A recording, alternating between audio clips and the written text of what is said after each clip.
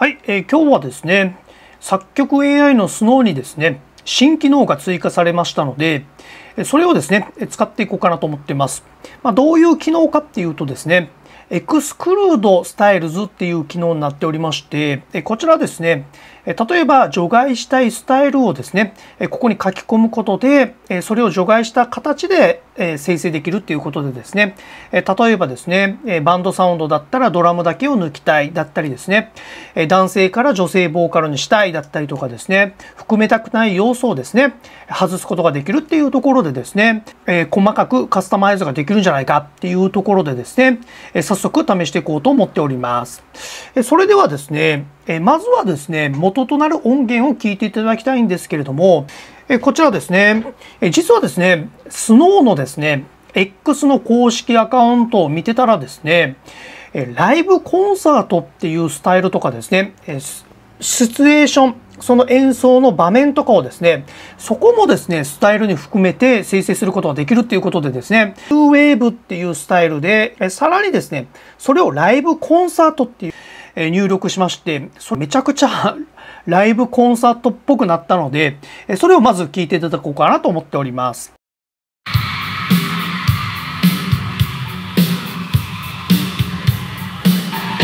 観客の声がですね、もうすでに精神された状態になっているということですね。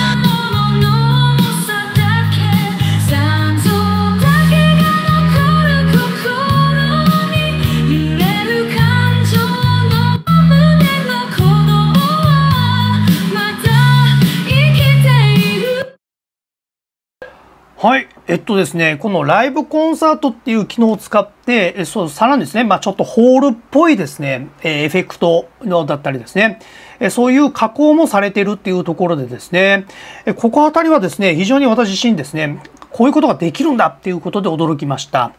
ちょっと本題はですね、この機能ではないんですけれども、ここからですね、まずこの一番右の点々点をクリックして、そこからカバーソングっていうところですね。クリックいたしまして、そしたらもう、え歌詞が反映されてますよとかですね。それでですね、えこちらをですね、今、ニューウェーブの形だったんで、こうアコースティックソングに変更していこうかなっていうとこですね。アコースティックポップ。ちょっとアンプグラウドっぽくしたいなと思ってですね。でそしてですね、このエクスクロードスタイルのとこですね。ここからですね、クリックしたら、エクスクロードスタイルが開きますので、ここからドラムだったりですね。先ほどは女性ボーカルだったので、女性ボーカルもですね、そして、ライブコンサートがですね、引き,、え引き継がれてるかもしれないので、ライブコンサートも除外しまして、これでどうなるのかっていうところでやっていこうかなと思ってます。はい。生成されましたね。だいたい2、30秒ぐらいかなっていうところでですね、生成されましたので聞いていきます。出会いと別れの瞬間に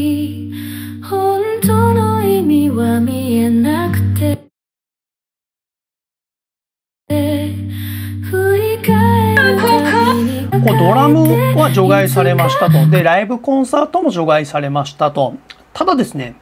女性ボーカルっていうのをですね、除外するように変えてたんですが、女性ボーカルになっちゃいますね。女性ボーカルともう認識できるはずではあるんですが、ちょっとですね、認識されませんでしたけれども、除外されなかったっていうところもですね、いろいろと検証していこうかなと思っております。以上です。簡単にではありましたけれども、エクスクルードスタイルズっていう機能をですね、試してみました。こちらの機能はですね、おそらく有料課金のユーザーさんしか使えないと思いますので、まあ、そこあたりですね、使ってみたい方はですね、有料で使ってみてください。ということで、今後もですね、音楽関係のですね、AI はですね、どんどんですね、今後も発信していこうと思いますので、フォロー、いいね、コメント、保存、何でもいいので反応よろしくお願いします。ということで、また次回の動画でお会いしましょう。右よし、左よし、あきよしよしさよなら